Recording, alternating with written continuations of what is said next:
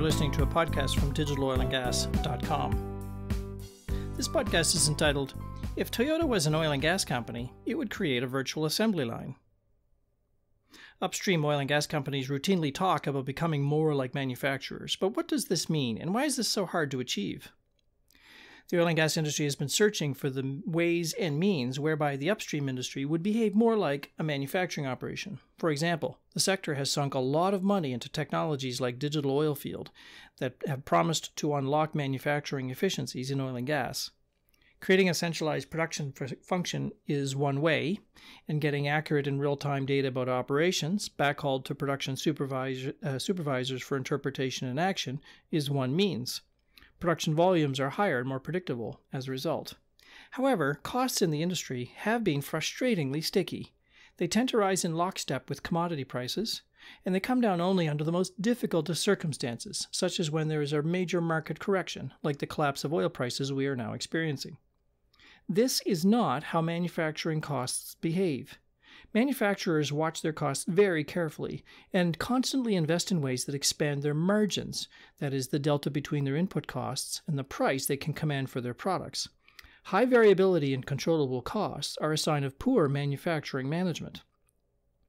If oil and gas companies want to get their costs to behave the way costs behave for manufacturers, they will need to do more than just harangue their suppliers for cost reductions. They will need to adopt at least one other key technique that has been at the hallmark of the manufacturing industry since the days of Henry Ford the assembly line. Back in the early days of the auto industry, cars were built the same way that oil and gas wells are built today by craftsmen. The car, like an oil well, didn't move in the shop. The craftsmen came to the car with their tools and parts and slowly assembled the vehicle over time. It was hard for the craftsmen to cut their costs. Most of their value was in their experienced labor. Parts were built by hand. Expanding production was a problem because experience takes time to accrue and experienced labor was scarce. Labor rates would therefore escalate dramatically when demand grew and since their tools had to be portable and human scale, they were small and hard to finance because portable assets tend to walk away. Substituting machines for people had limited impact. Production volumes were small, and making the assembly more efficient over time was hard. Even today, high end sports cars, with limited production volumes, are made mostly by craftsmen in assembly shops.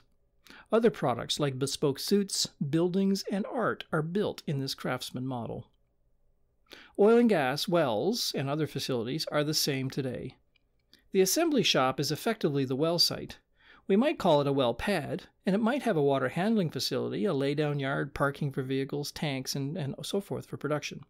The craftsmen are the services companies who go to the well site with their teams of people and their equipment, such as rigs, pumpers, and frac spreads, and carry out a service on the well, either to build it in the first instance or to repair or service it later. Like all craftsmen, services companies struggle to do much with their costs. Labor rates are sticky and don't easily retract when the market tightens. When the market expands, suppliers have to pay more for labor and their costs go up. They also raise prices quickly because they can, since oil and gas companies don't sweat their costs the way manufacturers do. Their assets are, for the most part, financed by bank lending, which require regular payments, and with demand uncertainty, suppliers charge what they can when times are good to make up for the pain when times are not. They can innovate a little with their rigs and their kit, but those efficiencies are at best incremental to their specific task and not transformative to the overall asset lifecycle. Henry Ford had the same problem with cars, and he changed manufacturing forever with the invention of the assembly line. The assembly line helped drive down costs by replacing the craftsmen with less skilled labor, simplifying tasks, and speeding up production.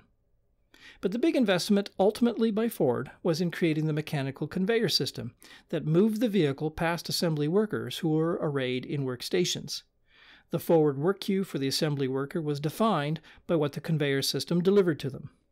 Delays caused by missing parts and missing workers could be studied and eliminated. The line could be sped up or slowed down or run around the clock to match production to demand.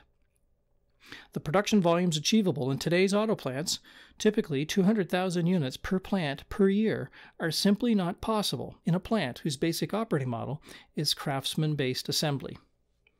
Unfortunately for oil and gas, the well, the flow lines, and the batteries do not move and will not ever move. They're stuck in place because that's where the hydrocarbons are located. So the industry cannot simply copy Henry Ford's innovation by locking the services companies in place and bringing the well to them on a conveyor belt. We're kind of stuck with this basic physical limitation and have no option but to bring our craftsmen to the well.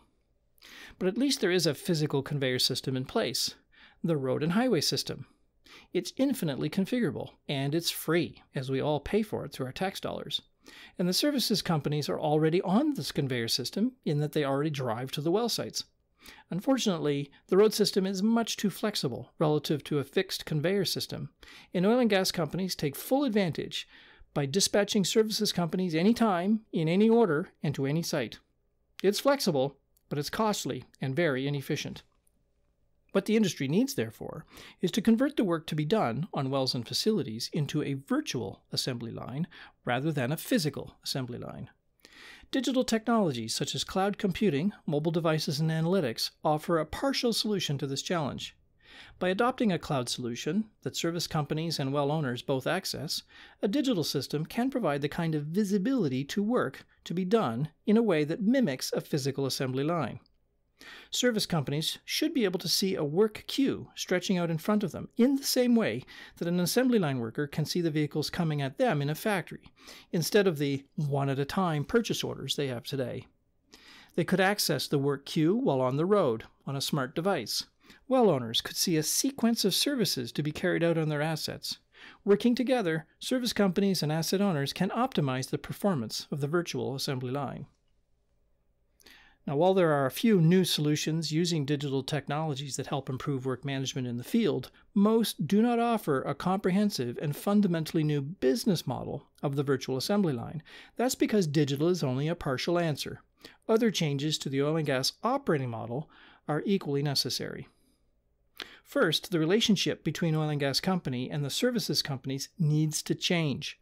Toyota, for example, does not treat its just in time suppliers the way oil and gas companies treat their on call suppliers. There needs to be a more open and joint business volume planning and different kinds of contracting. The design of well infrastructure would benefit greatly from some further standardization, which I believe is more achievable in the unconventional shale world than in the conventional world. Standardization helps capture service efficiencies and cost reductions. Next, oil and gas companies need to think of the data about their assets as powerful enablers and not their closed proprietary advantage. This is more of a mindset shift than a technology question. Next, different skills will be needed, including more manufacturing process expertise from the likes of Toyota, Boeing, and IKEA. Next, performance measures will need to adapt to reflect a manufacturing mindset I would expect to see greater emphasis on economic margins and less on production volume at any cost. Next, technology choices would need to be more enterprise in nature and less field specific, asset centric, and driven by narrow business unit agendas. Manufacturers might let the paint shop toy with new spray nozzles, but they still need to be part of the assembly line. And lastly, oil and gas companies would need to reorganize to create more of a controlling function that looks for ways to optimize assembly activities based on the demand for services, constraints in delivery, such as inclement weather, and travel distances. These are all hard challenges for oil and gas com- companies to stomach because they get at the very basis for how oil and gas has traditionally organized itself. But if the high cost Western oil and gas producers are to survive, the incrementalism that defines the improvement pathways of today must give way to a more transformative agenda. You have been listening to a podcast from digitaloilgas.com. If you like what you've heard, please subscribe to future installments and visit us at digitaloilgas.com.